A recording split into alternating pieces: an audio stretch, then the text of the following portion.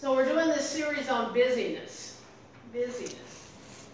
And uh, tonight we're looking at seeking to seek and live in God's wisdom. Interesting that it uses those two titles, seek and live. It's kind of like sometimes we, we even ask for and look for guidance, direction, wisdom, and then we don't do it. And so I think it's great that they combine those two. So it comes from the book of James. That's way over there in the back, just a few from the end. We're going to read 1 James 1 1 to 5. Somebody like to read? Anybody? James, a servant of God and of the Lord Jesus Christ, to the twelve tribes in the dispersion, greetings. My brothers and sisters, whenever you face trials of any kind, consider it nothing but joy, because you know that the testing of your faith produces endurance, and let endurance have its full effect, that, so that you may be mature and complete, lacking in nothing. If any of you is lacking in wisdom, ask God who gives to all generously and ungrudgingly, and it will be given to you.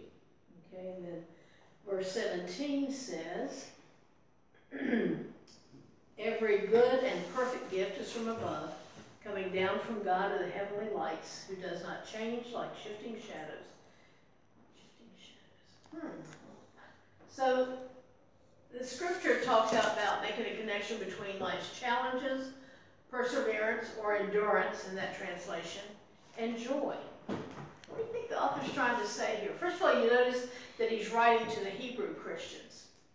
James had a real outreach to, he was the pastor of the church in Jerusalem. And so he's writing to them. So I say that because we have to remember from the Hebrew way of thinking that if things are going well for you, it's because you're doing all the right things. And if things aren't going well for you, like we talked about last mm-hmm. week, it's because you're messing up. That was just the, the thing, and it just doesn't always work that way. So the study person says, is there a connection between life's challenges and joy? What is the author trying to say? about what we just read, is that what you're saying? Mm-hmm. In my personal opinion, um, I'm just basically just saying, ask God and you have to trust without any doubt whatsoever, and then you're gonna receive the wisdom that you need, period. And I think also in this first part that James says here, I love the honesty. There are going to be trials. There are going to be challenges. I get so upset. You know, we were out in West Virginia and there's a preacher on. No matter what time you turn the TV on, you find a preacher. And so many of them were, were doing this. You know, you just accept Jesus and your life will be perfect from that minute on. Well, I guess I'm a heathen because it's just doesn't work that way all the time. Now, what does make the difference is you have a hope beyond yourself. You have a hope that things are eventually going to work out in the right way. But I think we all go through times of perseverance needed and joy. This isn't on the sheet here, but what helps you hang in when things are not going well? Faith, I live on faith. Faith? Remembering that God has always come through every other time before. Mm-hmm. Mm-hmm. That's why sometimes I encourage people, and I don't do it, I encourage people to journal. And especially when, when make a note of when God has come through. So the times when we're still waiting, you can go back and see that God's been faithful. And there's no reason for God to change that faithfulness. And I think it's important to understand that, that Robin Roberts says everybody's going through something.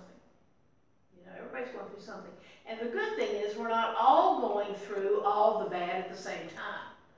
I know Joanna and I talk about this. You know, it's good that neither one of us are we're seldom sick at the same time. We seldom have financial stuff at the same time. We seldom have family stuff at the same time because man, you need that balance, and not just in a relationship, but in the people that you hang with to see that balance there. I love this question. How will God respond to us when we ask wisdom from God? The verses that she read. How does he respond to that? Mm-hmm. It to you if you him, but you gotta believe though, a thousand percent. I like the fact that James, again, remember who he's writing to, these Jewish Christians. And they're used to having to earn everything from God. Earn everything. And I love how he portrays God giving wisdom. In the Message Bible, it says, um, if you don't know what you're doing, pray to the Father who loves to help. You'll get this help and you won't be condescended to when you ask for it. Ask boldly, believing without a second thought. You ever ask somebody for help and they kind of went, oh, how could you be so stupid? Now, they may not have said that, but you pick that up, or, why don't you know that? And a lot of times people think that God's going to be like that to us. When we ask for help, God is going to, you know, say, told you that a hundred times. I put it in the book. What's the problem here? And I love how James says that it's not given grudgingly, or not condescended to. What time we need? Sometimes we need to do some real work on our image of God, our image of God, because many of us grew up with a, a punishing, angry, I'm going to get you God. And others grew up with just kind of this benign old man sitting in the chair watching the world go by. And it's kind of interesting over our lives how we develop this concept of God. And a lot of things plays into it. What are some things that might affect your image of God? Sometimes it has to do with the kind of preachers you've had, kind of leaders in your church you've had. You know, for the longest time, I thought God must be an old lady with blue hair. That's what, all the people in my church growing up, all those ladies. It might also have a lot to do with your parents. With your parents. I struggled, struggled to accept God as Father because I didn't see my dad as much of a godly person. Um, it may have to do with what your friends have said, what kind of things you've been. Today we're running into more and more people who don't have a concept of God. They weren't like most of us who were put in church whether you wanted to be or not. They kind of came through that generation where people just kind of went if they didn't want to or didn't go if they didn't want to. And so that concept of God figures into this asking for wisdom. Sometimes we tend to think we know more than God. We won't say it that way. No, sometimes we think we, we have a better or a plan B that might be better. So God responds to us giving us generously and abundantly.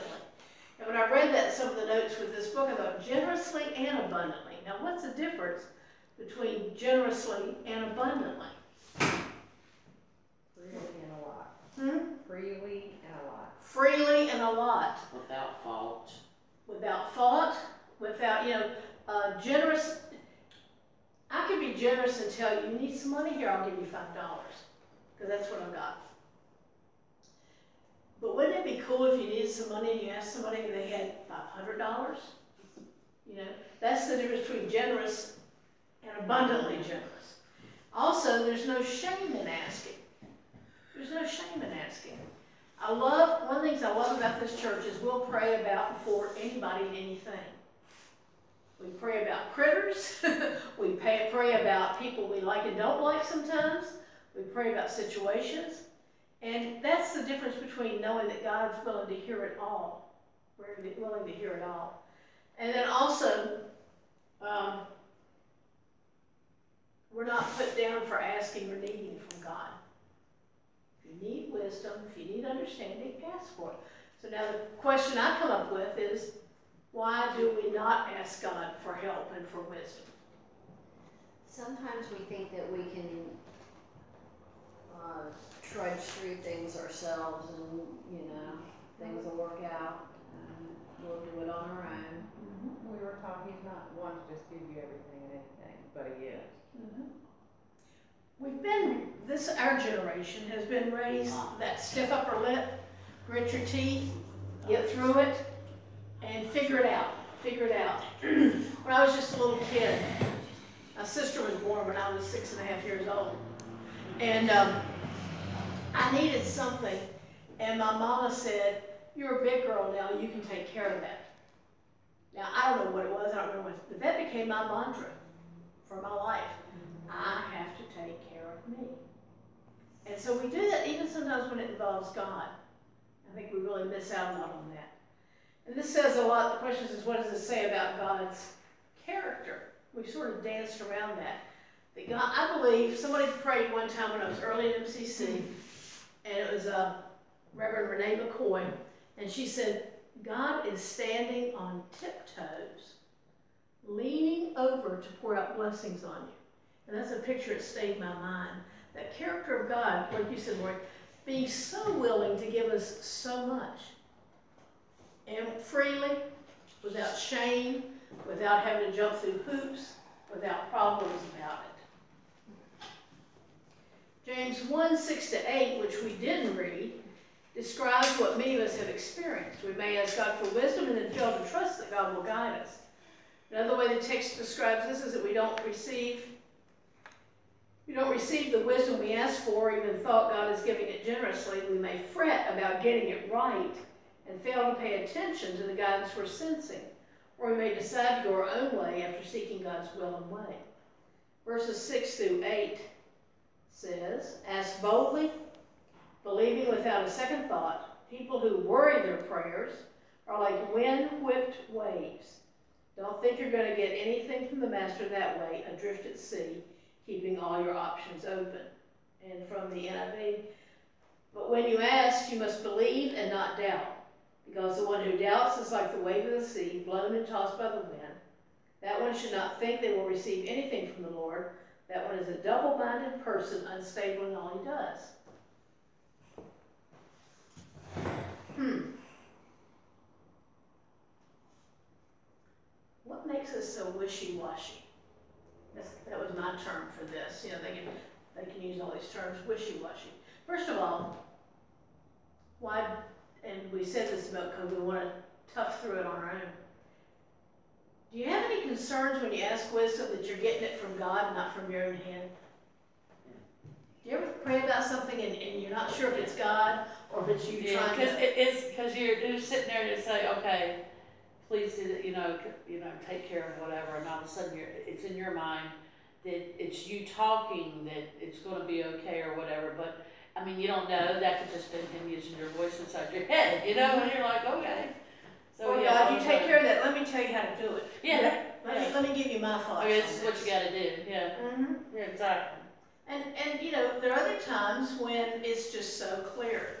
Uh, another pastor friend of mine, Doris Berry, used to say, if you really don't want to do it, and you think God's leading you to do it, probably that's it. Because it's something that we would fight against or not want to do. That's often what God is leading us to do. And so here, I think that James again is being very honest. You know, if you're going to throw your lot in with God, if you're going to ask God for help, then do it. Don't be waffling back and forth. And we know how that is with people. They say yes, yes, yes, and then say no, do no. Or they are good for a little bit and then they flake off. And the good thing is God's not like that. God's not like that. Somebody turn over to James chapter 3 and read 13 through 17. I'll read it. Let me just find it. Here, I'll go ahead and read them all.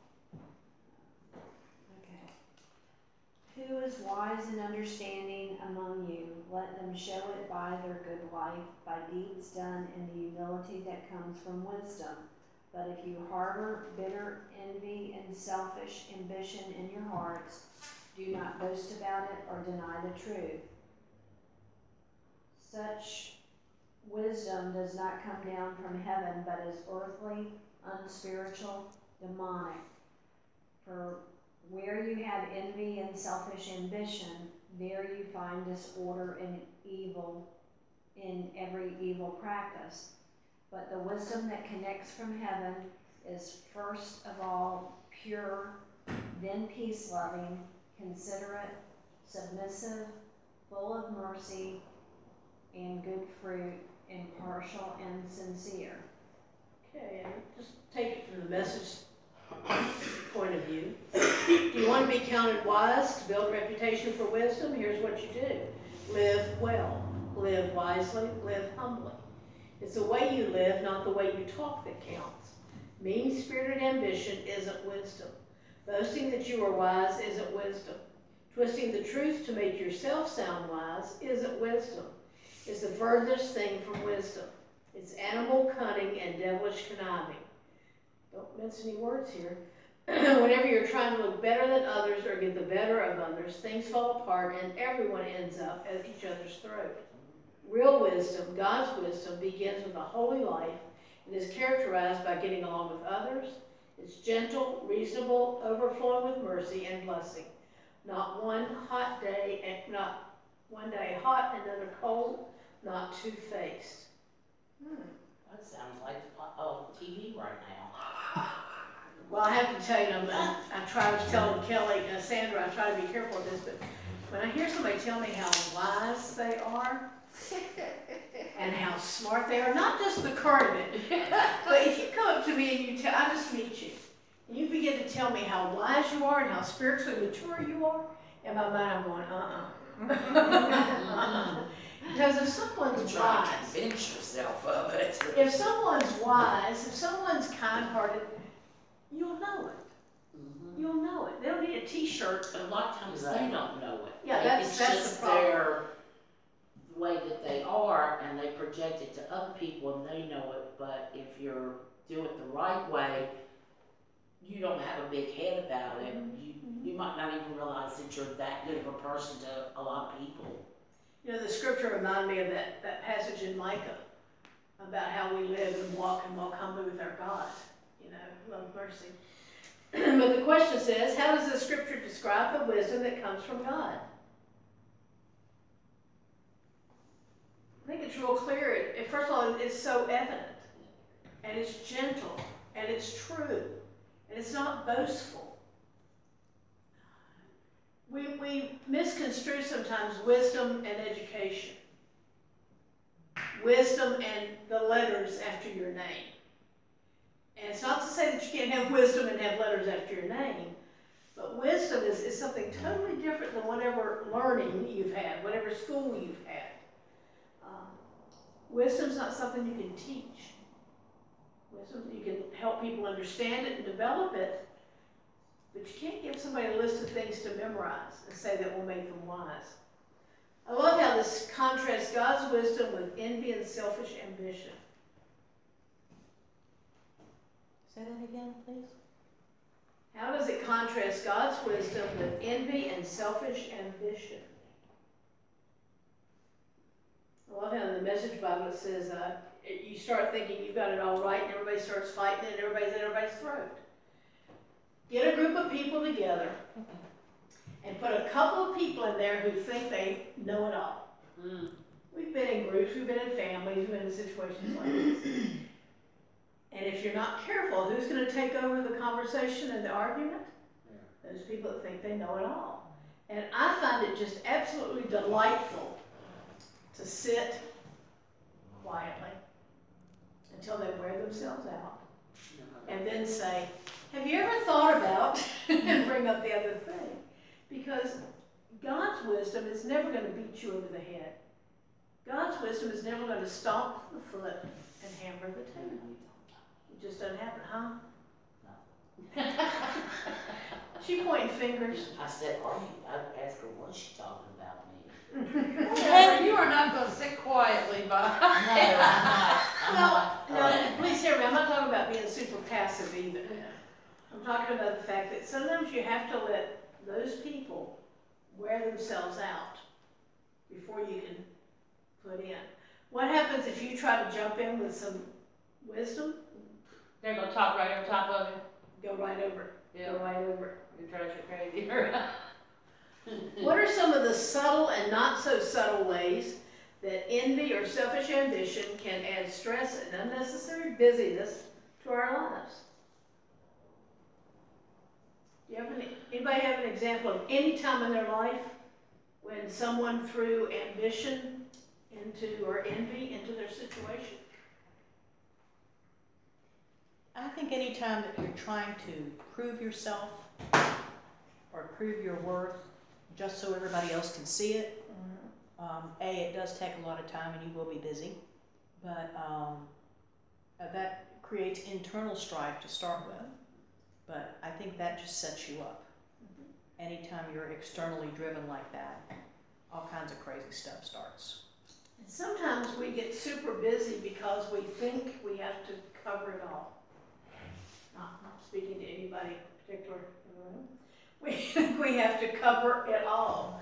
And then when somebody else comes up being envious or ambitious, it can get to be a problem. One of the things this lesson, the series is teaching me is to look at what's the core of my busyness. When I find myself saying, oh, I'm so busy, which doesn't happen very often, thank you, Jesus. But in the past, when I would just find myself frantically busy, why? Was it stuff I really needed to be doing? Because this wisdom that comes from God tells me that it's going to lead me to gentleness. It's going to lead me to um, wisdom comes from heaven is pure. Now, not white gloves. Pure means focused, focused, pure, peace loving, considerate, submissive. Oh, do you ever have trouble with that word submissive? Wives, be submissive to your husbands. Yeah, no, that's I used not. to. Ah, but you know what that submissive means? Walking side by By side, side. working together. Not three steps behind. Let me write that down. What does that mean? Submissive, Side by walking side by side, working together. Not three steps You behind. won't hear that on TV preachers either. Full of mercy and good fruit. God is not going to lead us, it's my opinion, God's not going to lead us to hurt somebody. God's not going to lead us to be mean to somebody. Now, there are times we have to call it, speak the truth to it, but there are ways to do that without being hurtful. Without being hurtful. God's wisdom is impartial and sincere. Hmm. Impartial. That's really hard sometimes. Because I don't care whether you're a parent, a teacher, a friend, you have your pets. You have your favorites. I do not know a parent who can honestly and truly, really sincerely say they don't have a favorite. Now, I'm fortunate with, with critters because I only got one, so he can be my favorite. but um, God's wisdom is impartial. Now, that means it's not based on how much money you make, it's not based on how you dress, it's not based on anything except finding God's true, pure purpose for that.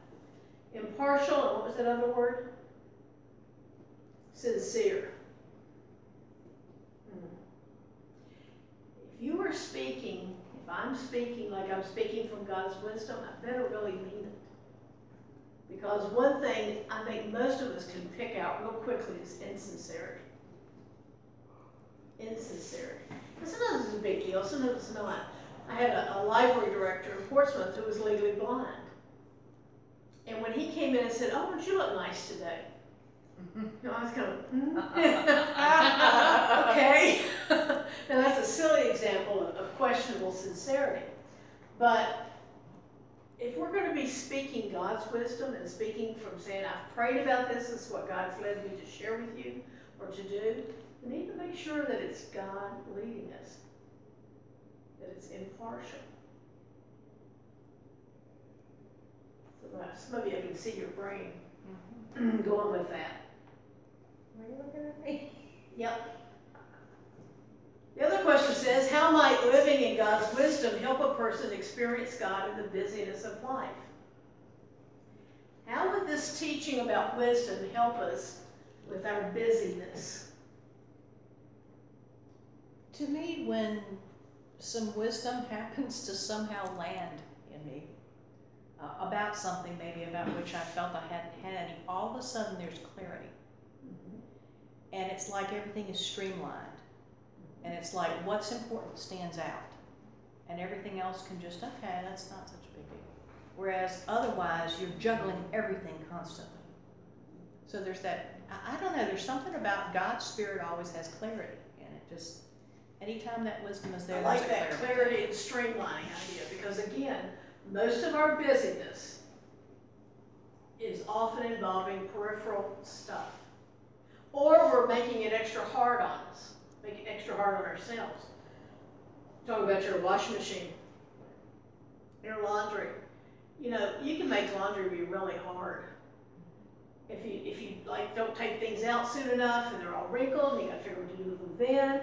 Or if you forget to put the fabric softener in, you have to do a little dinger now.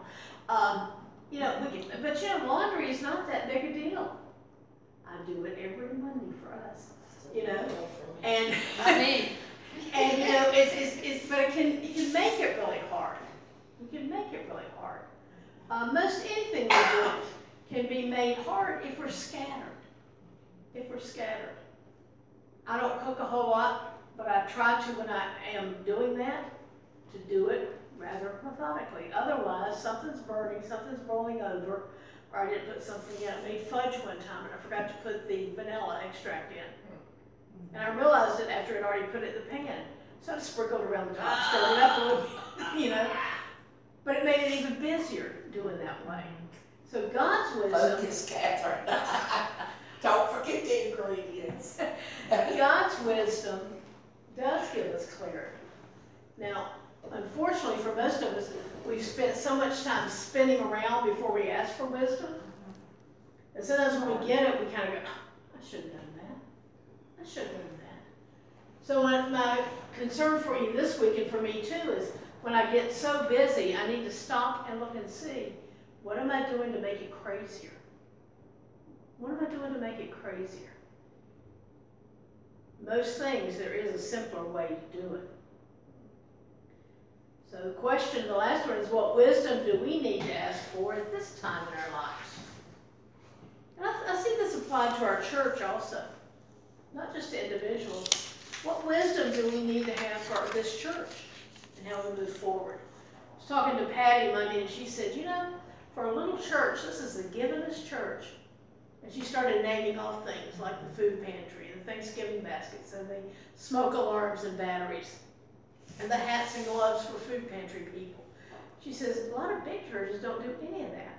We have to be careful that that doesn't turn into busyness, that it has wisdom behind it. And, and I think my assessment is that it has been wisdom involved in those things, even if you do pick strange movies to show. But, you know, find that wisdom because if we get so busy doing stuff, and we, we've always, Sandra will tell you, we're always getting requests to help with something or do something. And sometimes you just have to say, hmm, that doesn't meet our goals. That doesn't fit in with our theology. That doesn't fit in with where we're headed. And be able to have the wisdom to say, sorry, no, we can't do that. Otherwise, we spend all the, the energy and the money and the time doing things that don't matter. Don't matter. Wisdom. So when you need wisdom this week, what should you do? Ask. ask God. Yes. I was so afraid somebody's gonna say, call the preacher. Well, I can see that. Ask God, God will tell you to call the preacher. Yeah, you take God preacher. Send her yes. I asked somebody one time, I said, what do you do if you're reading in scripture, You- it just doesn't make sense to you? And somebody said, you know, check a commentary, I check a different translation. Finally, one person said, I just call you. That doesn't always work. Loving God, help us this week to moderate our busyness if it's just spinning wheels. Help us to seek your wisdom in every decision that we need to make. Most of all, help us to live as people who truly are and want to be wise. In your name we pray. Amen.